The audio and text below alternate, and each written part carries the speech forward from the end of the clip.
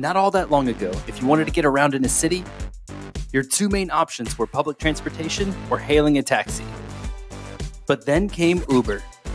The young company dominates the US ride sharing industry with nearly 60% market share and has expanded its business into 65 countries around the globe. Ride sharing is poised to grow into a $133 billion industry by 2023, and Uber is well positioned to benefit. In this video, we're going to break down exactly how Uber makes its money by getting millions of riders to their destinations every day. Uber makes money every time a rider opens the company's app, hails a driver, and pays for a ride. And the company has a lot of riders to make money off of. Uber's ride sharing business operates in more than 700 cities across six continents and has 91 million monthly active users on its platform.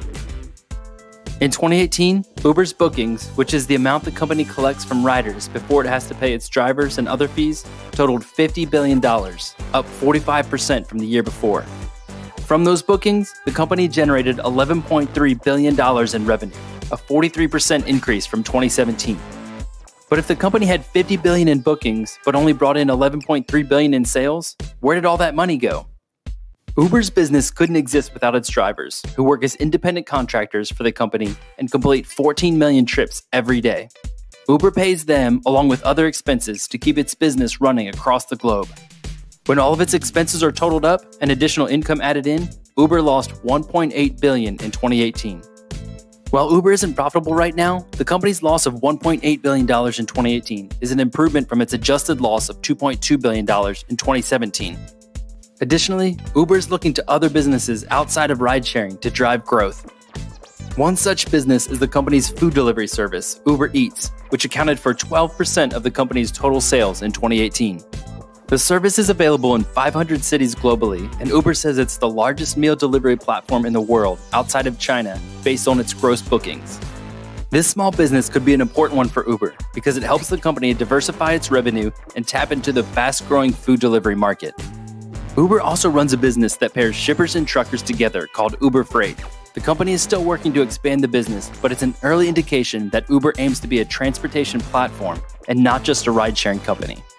Additionally, the company is developing autonomous vehicle technologies and has a small fleet of self driving vehicles on the road in Pittsburgh. Autonomous vehicles could eventually help Uber lower expenses and increase rides, though the mass rollout of this technology is still years away. While Uber has built itself into a ride sharing powerhouse, the company still faces stiff competition. Lyft, Uber's rival in the US, has about 39% of the market right now. And while Uber's entered many international markets, its success abroad is anything but guaranteed.